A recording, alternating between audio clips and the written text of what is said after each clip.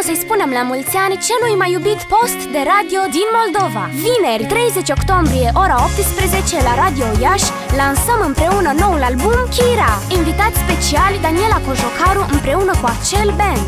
Vineri, 30 octombrie, ora 18, Kira, într-un concert live ascultat pe toate frecvențele Radio Iași. Streaming video pe radioiași.ro Redonez la la la